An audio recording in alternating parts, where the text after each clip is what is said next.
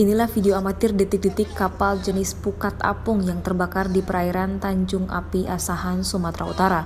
13 awak kapal nahkoda dan ABK yang mengetahui kapal terbakar langsung melompat menyelamatkan diri. Peristiwa kebakaran kapal terjadi setelah kapal berlayar sejauh 4 mil dari pantai. Kemudian api muncul secara tiba-tiba dari buritan kapal pada bagian ruang mesin. Beruntung kapal nelayan lain yang melihat peristiwa kebakaran tersebut membantu evakuasi para awak kapal. Selanjutnya, Pangkalan TNI AL Tanjung Balai Asahan yang mendapat informasi langsung melakukan pencarian penyelamatan awak kapal untuk dibawa ke tempat yang lebih aman. Tidak ada korban jiwa dalam peristiwa kebakaran kapal untuk kerugian diperkirakan 1 miliar lebih.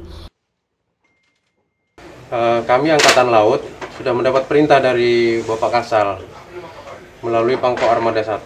Kalau ada kesulitan di wilayah kerja kita, tanpa diminta, kita harus hadir Contohnya saat ini dan Tamal memerintahkan kami untuk e, berangkat ke laut melaksanakan SAR.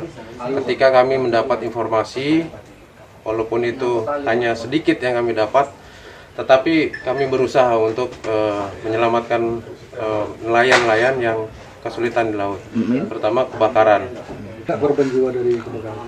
Kalau informasi yang kita dapatkan korban jiwa nihil. Ya, gimana ya? Ya dari apa? Tapi dari kamar mesin. Hmm. tiba-tiba membesar gitu. Itu akibat apa biasanya, Pak? Kalau ya kemungkinan apalah selang minyak bocor. Ada berapa orang Bapak di 13. Oke, selamat semua. Nahoda, selamat semua. Pak, selepas menyadari. Dari Asahan Sumatera Utara, Yudi Pane melaporkan. Ya, anggota suruh terjun lah, lompat pakai lampung. Udah selesai.